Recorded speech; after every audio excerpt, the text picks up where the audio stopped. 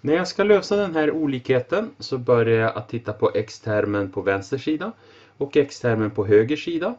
Och då ser jag att den här x-termen är större än den här x-termen. Och det är ett större positivt värde här än där. Så då vill jag ta bort alla x som finns på högersidan. Och då tar jag minus ett x. Och gör jag minus x på högersidan så måste jag göra likadant på vänstersidan. Så att jag får minus x där.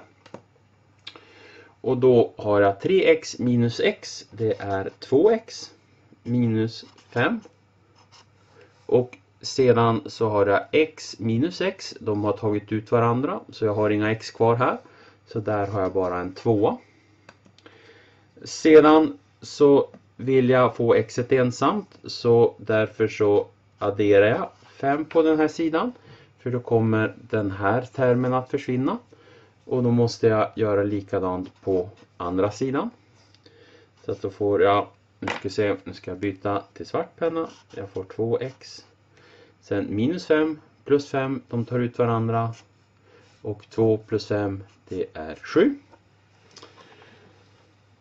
Och sedan så tar jag och dividerar med 2. Därför att om jag har två stycken x här, 2 gånger x. Så dividerar jag med 2 så får jag 2 dividerat med 2 och den kvoten blir 1. Och dividerar jag med 2 på vänstersidan så måste jag dividera med 2 på högersidan också. Och då fick jag ju x kvar där. Och olikheten och 2 delat med, nej förlåt 7 delat med 2 det blir 3,5. Så det här x-värdet uppfyller då olikheten x är större än 3,5. Och i uppgiften så skulle jag tala om det minsta heltal som uppfyller den här olikheten. Så svar minsta heltalet är x lika med 4.